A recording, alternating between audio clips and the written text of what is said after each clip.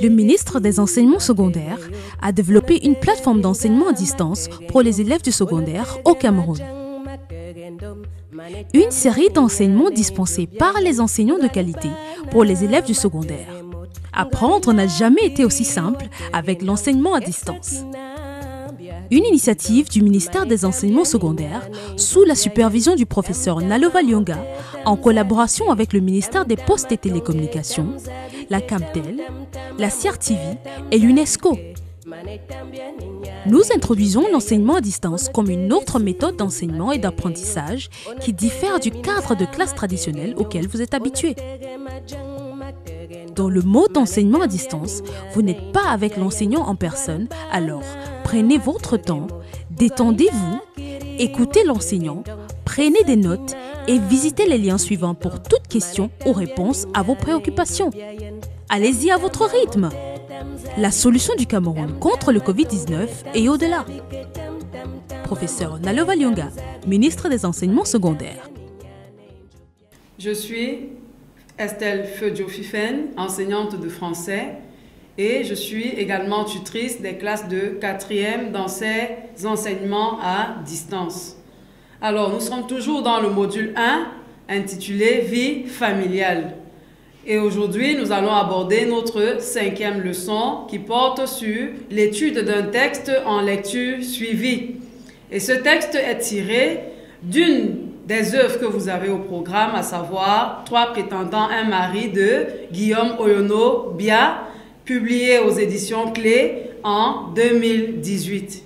Alors, l'extrait que nous allons étudier va de Atangana, ton grand-père, jusqu'à Juliette me concerne, de la page 19 de l'acte 1. Pour mener à bien cette leçon, nous allons l'aborder selon le plan que vous avez à l'écran.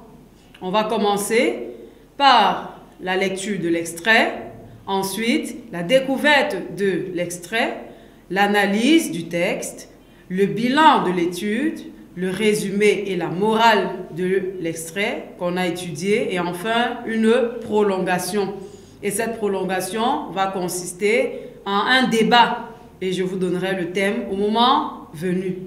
Nous continuons, chers apprenants. Je compte sur ta disponibilité et ton attention. Bien, en guise d'objectif donc pour cette leçon, tu devras être capable de relever, après la lecture du texte, l'instrumentalisation de la fille dans la coutume africaine à travers la dot. Je reprends. À la fin de ce cours, cher apprenant, tu devras être capable de relever l'instrumentalisation de la jeune fille dans la coutume africaine à travers la dot. J'espère que tu sais ce que c'est que la dot. La dot, c'est la première étape du mariage qu'on effectue envers la famille.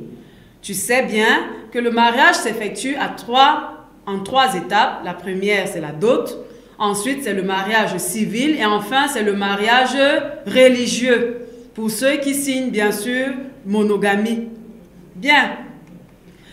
Pour mener à bien cet objectif, tu auras besoin de certaines connaissances, de certains prérequis, notamment savoir lire, puisque notre texte de lecture suivi, tu dois savoir lire, tu dois savoir caractériser un personnage et tu dois formuler une morale, c'est-à-dire l'intérêt que tu as eu après la lecture du texte. Bien, nous commençons par la lecture de l'extrait en question. Je te demande, cher apprenant, d'être calme, attentionné, posé et de lire avec moi. D'accord? On y va? Matalina. Comme tu vois, les noms des personnages sont en gras et ils sont suivis du point, du signe de ponctuation, deux points. Cela signifie que c'est Matalina qui prend la parole. Matalina. Sans réfléchir, tandis que les hommes essaient de la faire taire à grand renfort de signes. Ce qui, entre parenthèses, cher apprenant, en italique, ne doit pas t'inquiéter. Il s'agit des didascalies. Ce sont des phrases, des indications sur la position, la posture et les certains actes des personnages. Je reprends. Matalina, sans réfléchir, tandis que les hommes essaient de la faire taire à grand renfort de signes. L'an prochain, ton mari va donc te laisser repartir au collège Juliette. Est-ce que on doit la tapoter sur l'épaule? Elle se tait. Trop tard. Déjà Juliette regarde tout le monde avec de grands yeux étonnés. Juliette prend la parole. Juliette. Mon mari Quel mari? Est-ce que j'ai un mari? Bella prend la parole. Qui ne remarque pas la gêne ambiante? Un mari, Juliette. Mais tu en as déjà deux, mon enfant. Dis qu'il y a des filles qui ne... Atangana, réprobateur, c'est-à-dire qu'il n'approuve pas que Bella ait pris la parole. Et qui est, voyons, vous autres, vous savez que j'ai promis de lui annoncer la bonne nouvelle moi-même. Atangana se gratte la tête pour savoir par où commencer. Bon, euh, je vais t'expliquer la situation, mon enfant. Il y a cinq semaines, nous avons reçu la visite d'un homme qui est venu demander ta main. Évidemment, à cause de ton instruction et de ta valeur, nous avons décidé de prendre les 100 000 francs qu'il a versés. Atangana continue. Juliette a un mouvement vif. Et Atangana ajoute précipitamment. Mais nous avons mis cet argent de côté. En effet, nous attendons cet après-midi la visite d'un grand fonctionnaire. Il se penche pour faire comprendre à sa fille qu'elle a bien de la chance. Il veut lui aussi t'épouser. Atangana. Naturellement, s'il me verse une dot plus importante, Juliette prend la parole indignée. Quoi? Je suis donc à vendre Pourquoi faut-il que vous essayiez de me donner au plus offrant? Est-ce qu'on ne peut pas me consulter pour un mariage qui me concerne? Le texte est de Guillaume Oyonobia, tiré de Trois prétendants un mari, publié aux éditions Clés en 2018, tiré de la page 19. Je vais reprendre encore, cher apprenant, la lecture de ce texte. Alors, nous revenons. On y va. Matalina. Sans réfléchir, tandis que les hommes essaient de la faire taire à grand renfort de signes. L'an prochain, ton mari va donc te laisser repartir au collège Juliette.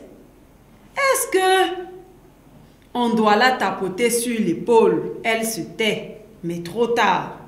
Déjà Juliette regarde tout le monde avec de grands yeux étonnés. Mon mari Quel mari? C'est Juliette qui parle. Mais est-ce que j'ai un mari? Bella qui ne remarque pas la gêne ambiante. Un mari, Juliette. Mais tu en as déjà deux, mon enfant. Dis qu'il y a des filles qui ne... Atangana. Réprobateur. Et qui est... Voyons vous autres.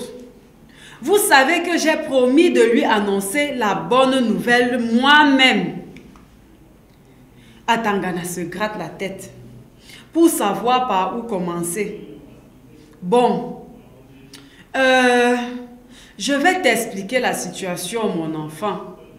Il y a cinq semaines, nous avons reçu la visite d'un homme qui est venu demander ta main. Évidemment, à cause de ton instruction et de ta valeur, nous avons décidé de prendre les 100 000 francs qu'il a versés. Juliette a un mouvement vif et Atangana ajoute précipitamment. Mais nous avons mis cet argent de côté. En effet, nous attendons cet après-midi la visite d'un grand fonctionnaire. Il se penche pour faire comprendre à sa fille qu'elle a bien de la chance. Il veut lui aussi t'épouser. Naturellement, s'il me, verse une dot plus importante. Juliette, indignée. Quoi? Je suis donc à vendre pourquoi faut-il que vous essayiez de me donner au plus offrant? Est-ce qu'on ne peut pas me consulter pour un mariage qui me concerne? Le texte est de Guillaume Oyonobia, tiré de Trois prétendants à un mari, publié aux éditions Clés en 2018, tiré de la page 19. Après donc cette lecture, nous allons passer à la deuxième phase de notre leçon, à savoir la découverte de l'extrait. Cette phase porte sur des questions et je vais vous poser la première. Lis l'objectif de la leçon et dis ce qu'on attend de toi à la fin de celle-ci. Alors, comme tu as sûrement répondu, à la fin de cette leçon, on te demande de relever l'instrumentalisation de la jeune fille dans la coutume africaine à travers la dot l'instrumentalisation, c'est-à-dire qu'on a pris la jeune fille comme un instrument, comme un objet qu'on utilise. Tu devrais être capable de relever l'instrumentalisation de la jeune fille dans la coutume africaine à travers la dot. Bien, nous continuons. Deuxième question. Lis le texte, puis dis de quoi il parle. Nous l'avons déjà lu. Maintenant, de quoi parle ce texte? Le texte parle, bonne réponse, de la mise aux enchères de Juliette par sa famille à travers la dot. Effectivement, le texte nous dit bien que son père a déjà reçu un homme qui a versé une somme de 100 000 francs et qu'il a mis cet argent de côté parce qu'il attend un autre homme, un grand fonctionnaire, qui peut sûrement lui verser une dot plus importante. Vous voyez donc que là, il y a déjà l'idée de, des enchères. Donc le texte parle de la mise aux enchères de Juliette par sa famille à travers la dot. Très bien, nous continuons avec la troisième phase de notre leçon, à savoir le traitement de la notion, le traitement du texte. Première consigne, c'est une consigne générale. Toutes les questions que je m'en vais te poser, tu vas devoir y répondre en les mettant dans un tableau ayant pour entrée les personnages et leurs relations, les actions et le déroulement de l'intrigue. Donc, trace un tableau, cher apprenant, dans lequel tu devras mettre première colonne, entrée les personnages et leurs relations, deuxième colonne, les actions, troisième colonne, le déroulement de l'intrigue. Bien. Première question. Quels sont les personnages qui participent à la rencontre familiale Indique les relations qui les unissent. On a lu le texte. Vous avez à plusieurs reprises constaté qu'il y a des acteurs qui prennent la parole. Maintenant, qui sont-ils et quelles sont leurs relations, les liens qui existent entre eux? Réponse les personnages qui participent à cette rencontre familiale et les liens qui les unissent sont, on a Atangana.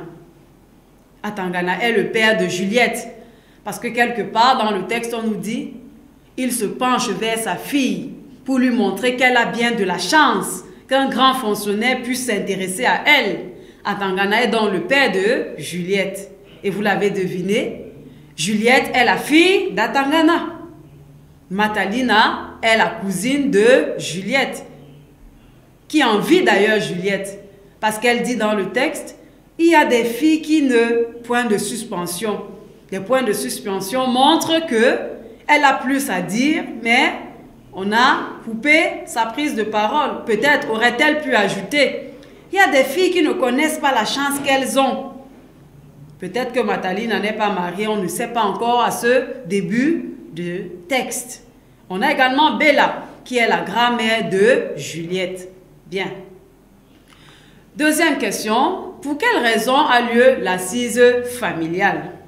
Pourquoi est-ce que le père, le est présent La grand-mère de Juliette est présente La cousine de Juliette est présente? Pour quelle raison a lieu cette assise familiale? Vas-y, réfléchis, relis le texte. Relis. Très bien. La famille s'est réunie parce qu'elle attend la visite d'un grand fonctionnaire qui souhaite épouser Juliette. La famille s'est réunie parce que on attend un homme. Il n'est pas n'importe quel homme, c'est un fonctionnaire qui souhaite épouser leur fille Juliette. C'est pourquoi toute la famille est réunie pour attendre cet homme en question. Bien, nous continuons avec une autre question. Est-il le premier homme à désirer prendre pour épouse Juliette? Est-il le premier homme à désirer passer la bague au doigt de, Juliette? Alors, tu as lu le texte, nous l'avons lu plusieurs fois, deux fois, il me semble, qu'à ce niveau, tu devrais être capable de répondre que non, il n'est pas le premier homme à vouloir Juliette pour femme. Parce que le texte dit qu'il y a cinq semaines, un jeune homme a versé une somme de 100 000 francs en guise de dot à la famille de Juliette. Cela signifie que Juliette est courtisée. Et si un homme, deux hommes courtisent la même fille, elle doit être spéciale. En quoi est-ce que Juliette est spéciale pour attirer autant de soupirants? Nous continuons. Qu'a fait la famille de l'argent versé par le premier venu? Celui qui a versé les 100 000 francs. Qu'est-ce que la famille a fait de cet argent? Cher apprenant, la famille dit qu'elle a mis cet argent de côté pour obtenir plus du grand fonctionnaire. Vous savez, dans le texte, quand Atangana prend la parole pour relater les faits à sa fille Juliette, il lui annonce qu'un homme est venu et lui a donné 100 000 francs pour avoir la main de sa fille Juliette. Et quand Juliette s'étonne, elle est indignée, elle est fâchée.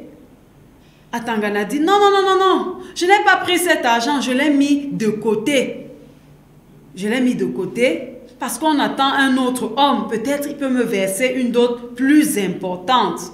Donc en fait, si le père de Juliette a mis cet argent de côté, c'est parce qu'il est déjà certainement en train d'écarter la demande du premier venu, parce qu'il se dit qu'il aura plus du grand fonctionnaire. Est-ce qu'on se comprend, camarades? Pardon, chers apprenants, nous ne sommes pas camarades. Est-ce qu'on se comprend? Donc, il a mis cet argent de, de côté.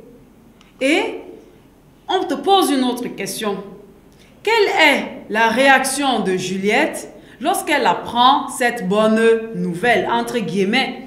Parce que sûrement, pour Juliette, je ne pense pas que la nouvelle que son père lui annonce d'avoir déjà pris la dot soit une bonne nouvelle pour elle, puisqu'elle n'était pas au courant. Quelle est la réaction de Juliette?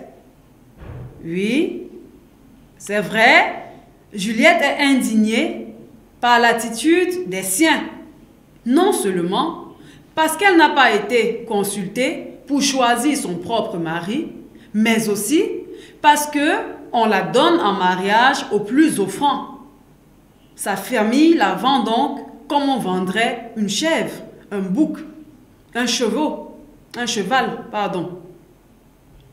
Donc, Juliette, en somme, n'est pas contente. Parce que ni son père, ni sa grand-mère, ni sa cousine, peut-être même pas sa mère, personne ne l'a consultée pour voir si elle aimerait se marier avec cet homme ou pas. Mais on a déjà reçu la dot. Elle n'est pas contente. Autre question. Selon ses parents, pour quelle raison la dot de Juliette doit-elle coûter cher? Pourquoi est-ce qu'ils pensent qu'il mérite d'avoir une dot plus importante que les 100 000 francs que le premier homme a déjà versés Alors, la dot de Juliette devrait coûter cher à cause de son instruction. Cela signifie qu'elle a fréquenté. Et pas n'importe où. Dans le texte, on précise à l'école des Blancs, pour ceux qui ont lu les scènes précédentes. La dot doit coûter cher parce que Juliette est instruite. Et donc, elle a de la valeur.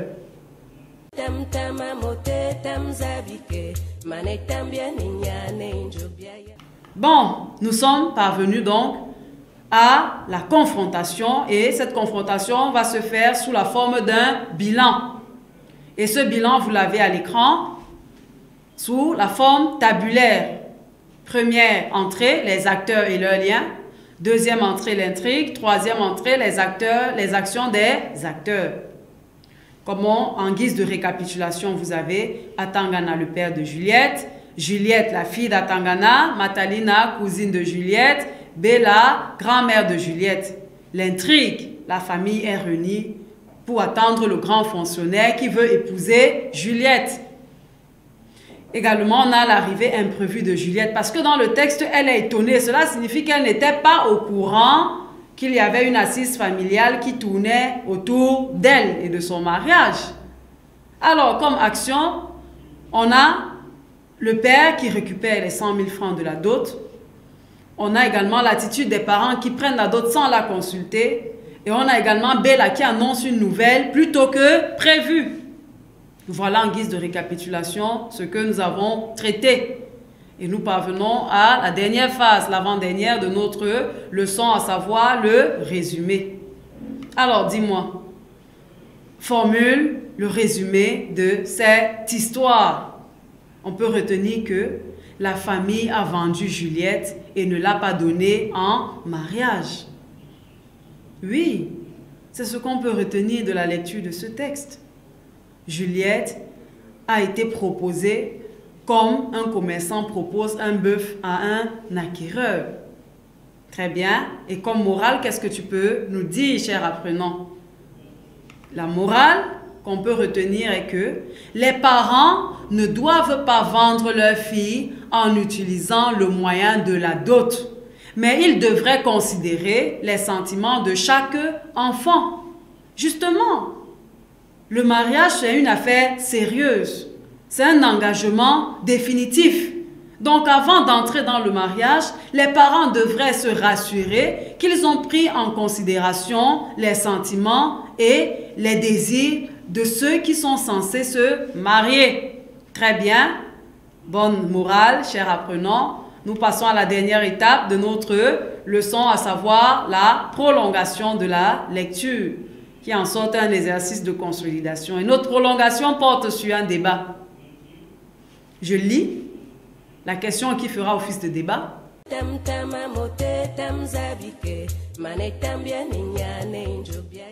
De son instruction ou de sa beauté. Est-ce que les parents doivent donner un montant pour la dot en fonction de l'instruction de la fille, de sa beauté, de son statut social? Est-ce que c'est normal? Alors, consigne, cite deux arguments pour condamner l'évaluation de la dot d'une fille en fonction de sa beauté, de son instruction ou de son statut social. Ensuite, cite un seul argument pour montrer le bien fondé d'un mariage tenant compte des sentiments des conjoints. Tenant en compte les sentiments des conjoints. Alors, première réponse, on t'a demandé de proposer deux arguments pour montrer que il n'est pas bon de proposer une dot en fonction de la beauté, de l'instruction, du statut social de la fille. L'enfant n'est pas une marchandise. Quand on l'estime ainsi, on la chosifie. Premier argument. Deuxième argument, le mari qui a versé une dot élevée peut maltraiter la fille, la considérer comme un objet qu'il a acheté avec son argent. Cela signifie que si tu payes une dot à 5 millions, 10 millions, dans le mariage, il peut arriver que l'homme chosifie sa femme en lui disant mais je t'ai acheté. Il peut battre sur sa femme. Sa femme n'aura peut-être pas le droit de s'exprimer devant son conjoint. Elle sera donc considérée peut-être comme une aide ménagère, ou peut-être moins que ça. Vous voyez donc qu'il n'est pas bon d'évaluer la dot en fonction de la beauté ou du statut social de l'enfant. Bien, une autre consigne était de donner un argument pour montrer que le mariage doit prendre en compte les, sentiments des conjoints. En guise de réponse, on peut dire que le mariage dans lequel les conjoints s'unissent par amour a plus de chances de perdurer qu'un mariage forcé. Parce qu'en fait, marier Juliette à un grand fonctionnaire sans son avis, c'est le mariage forcé. Donc, le mariage qui a plus de chances de perdurer, c'est un mariage où les deux conjoints s'aiment, où les deux conjoints se connaissent, ils se sont choisis mutuellement et se sont dit oui pour tout, et la vie, et les moments de joie, et les moments de détresse. Alors là, le mariage sûrement aura de grandes chances de, de mettre long. Alors, chers amis, pour mener à bien cette leçon, nous nous sommes servis uniquement de l'œuvre que vous avez au programme, à savoir Trois prétendants et un mari de Guillaume Oyonobia, publié aux éditions Clés en 2018.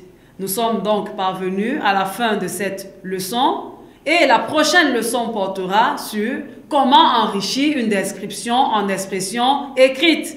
Alors on se dit next time.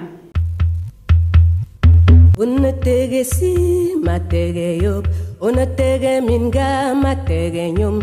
Unatege majang matege ndom. Manetambia ninyane njobia yen. Ngani bana matege mot. Ngani lakiri watege ndong. Esakina bia dinkido Manetambia ninyane njobia yen